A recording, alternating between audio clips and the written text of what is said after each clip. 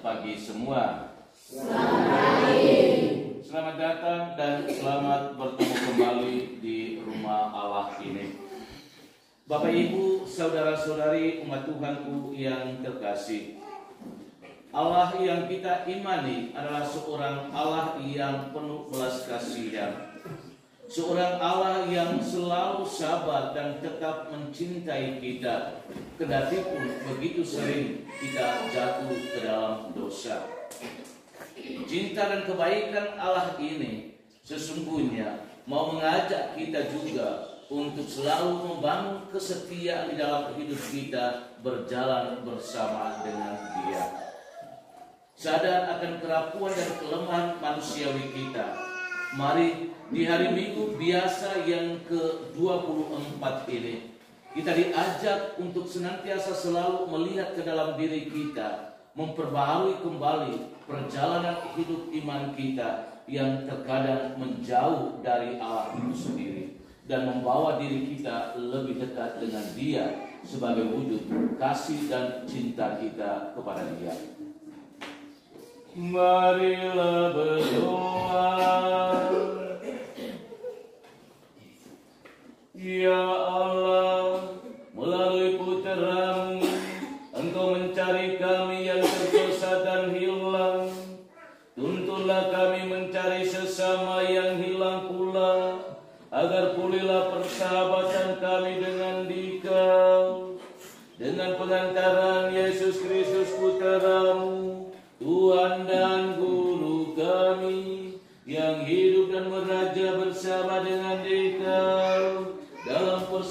persatuan dengan Roh Kudus, Allah sepanjang segala masa.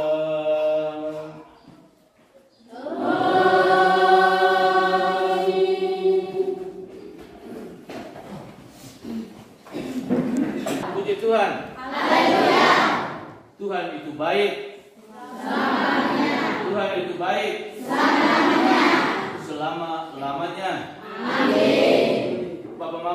Mama, saudara saudari umat Tuhanku yang terkasih. Siapa di antara kita yang tidak pernah marah, jengkel atau iri atau benci kepada sesamanya? Angkat tangan.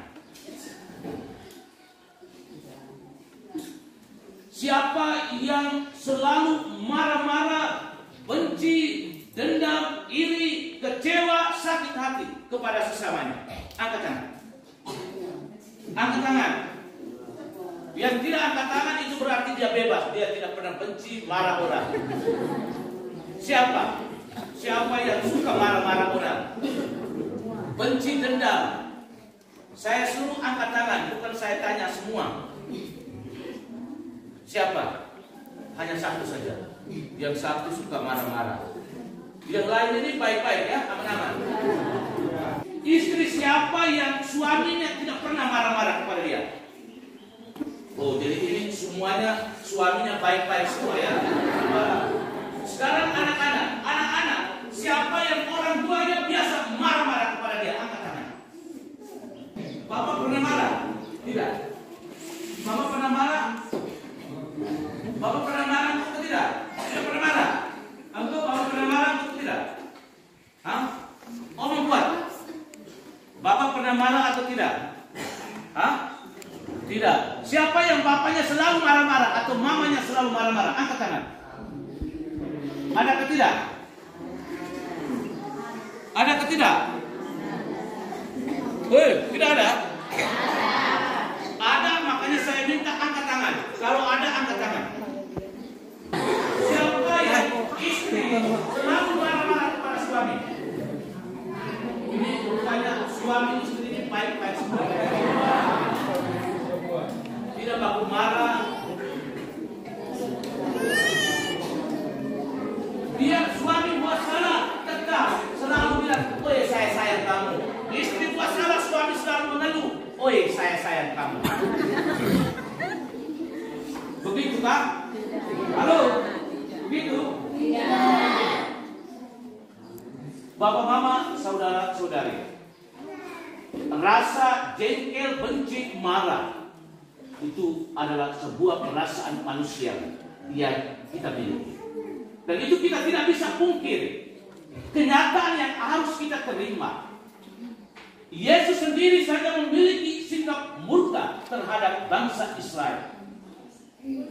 Israel umat pilihannya yang sudah dia bebaskan keluar dari tanah Mesir. Mereka menunjukkan sikap ketidaksetiaan mereka kepada orang yang sudah membimbing dia keluar dari perbudakan di tanah Mesir. Mereka tidak pernah bersyukur, mereka tidak pernah berterima kasih, malah membangun sikap membangkang, melawan kepada Allah. Dengan kelancaran Musa, dia memohon kepada Allah agar memberi kesempatan kepada umat Israel untuk membangun pertobatan. Pertobatan itu berarti bahwa biarkanlah mereka berubah. Sadar dan bertobat berubah dari sikap hidup mereka yang tidak setia kepadanya.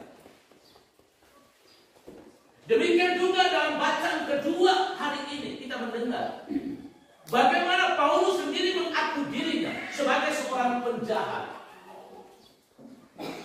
Awalnya dia membunuh begitu banyak orang Kristen. Selalu melakukan segala sesuatu melawan hukum dan perintah Tuhan itu sendiri. Namun dia pada akhirnya menemukan pertobatan itu sendiri.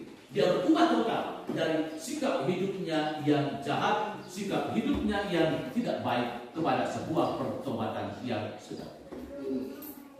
Demikian juga dalam bacaan Injil hari ini kita menemukan bagaimana sikap kepedulian dan perhatian dari kasih Allah itu sendiri kepada kita umat beriman.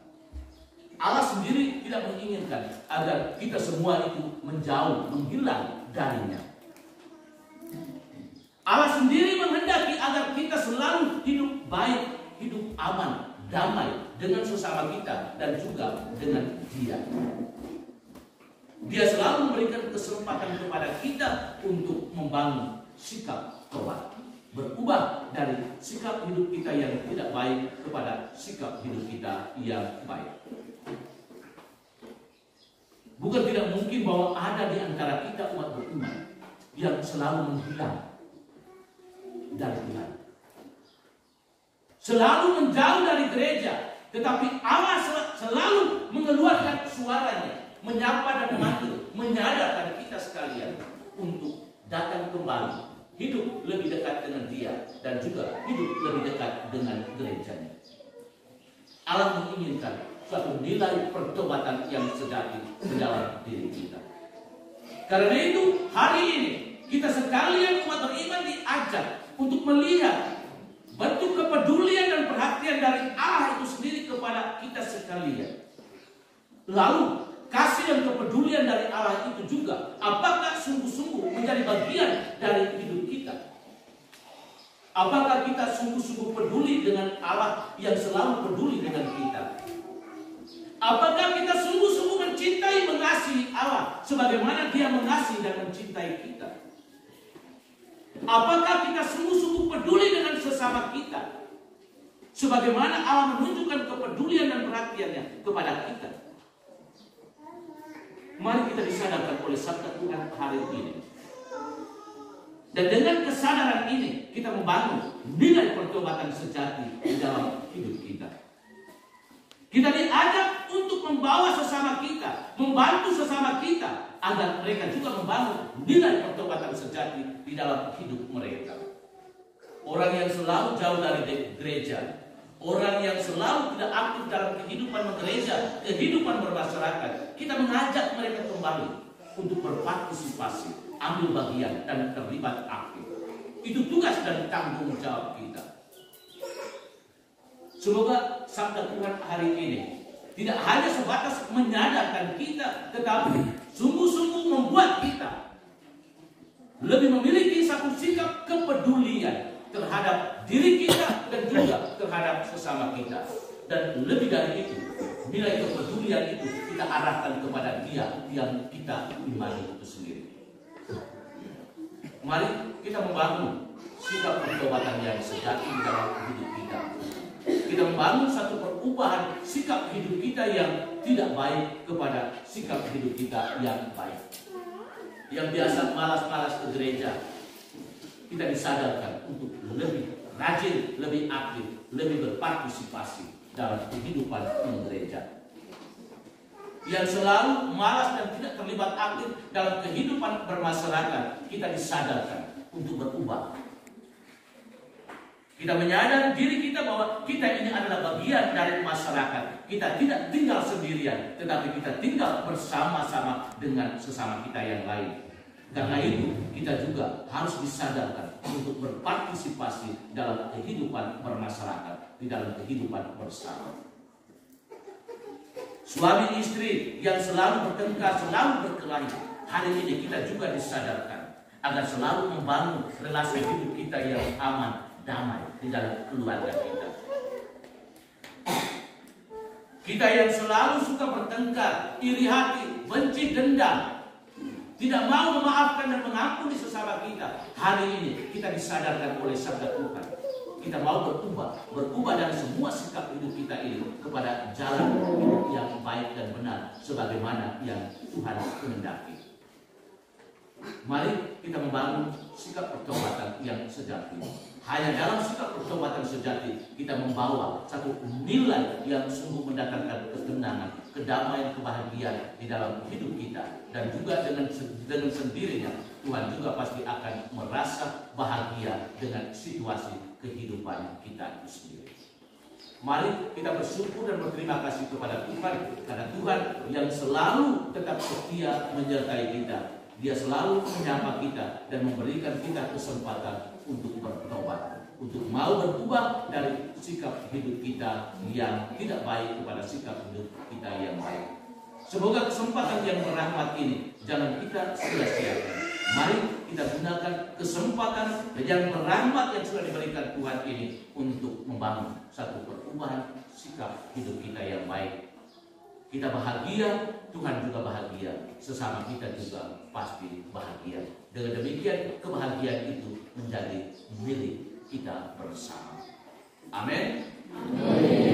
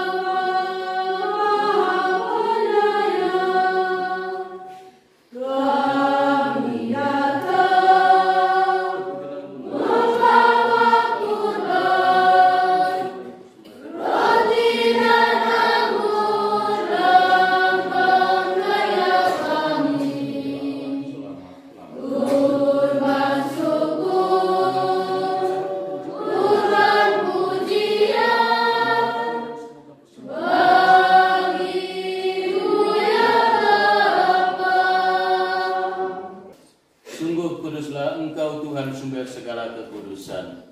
Maka kami mohon kuduskanlah persembahan ini dengan pencurahan rohmu, agar bagi kami menjadi tubuh dan darah Tuhan kami, Yesus Kristus. Ketika dia diserahkan untuk menanggung sengsara dengan rela, dia mengambil roti dan sambil mengucap syukur, dia memecah-mecahkan, lalu memberikannya kepada murid-muridnya seraya berkata, Terimalah dan makanlah kamu semua. Inilah tubuhku yang diserahkan bagimu.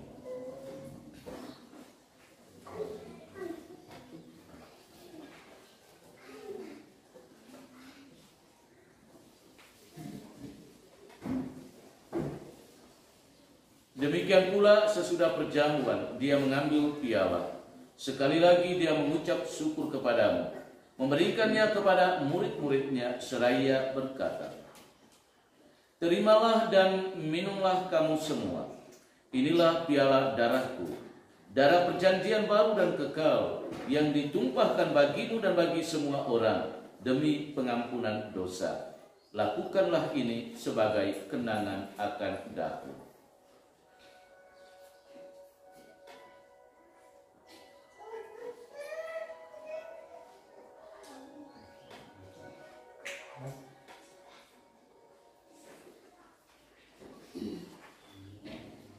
Love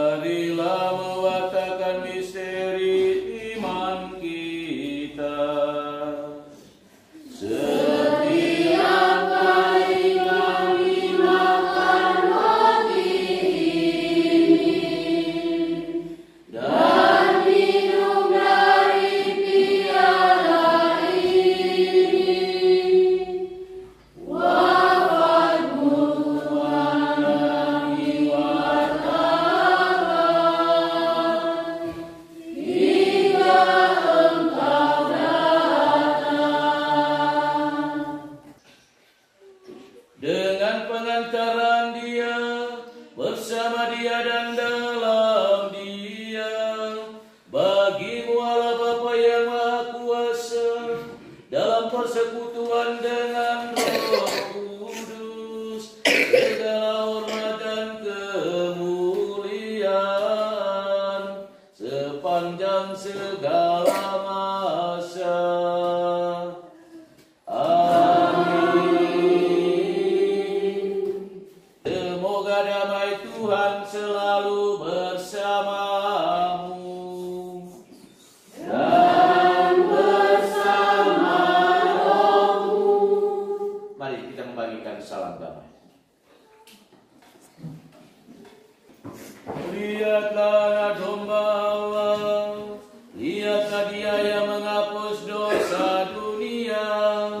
berbahagia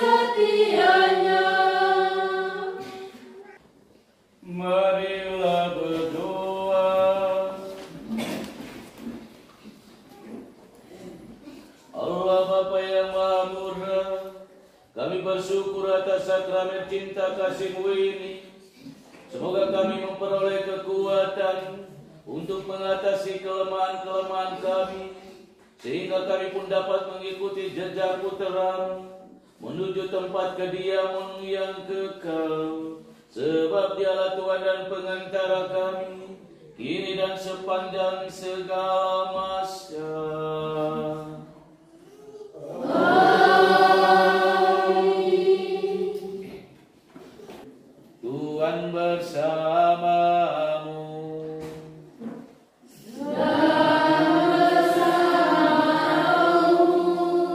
Semoga kita sekalian semua tugas kerja kita pada hari ini sekalian mereka yang kita doakan dibimbing, dilindungi dan diberkati oleh Allah Bapa yang Maha Kuasa.